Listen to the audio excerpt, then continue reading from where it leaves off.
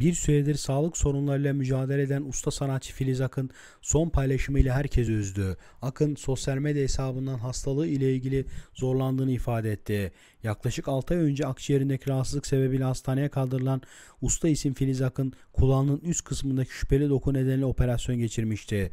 Sık sık sağlık sorunlarıyla gündeme gelen usta sanatçı sağlığı ile ilgili açıklama yaptı. 81 yaşındaki usta sanatçı paylaşımıyla herkesi derinden üzdü. Filiz Akın sosyal medya hesabından bu sıcaklar biraz sağlığımı zorladığı için sesim kısılsa da iyi bir hafta sonu diliyorum dedi.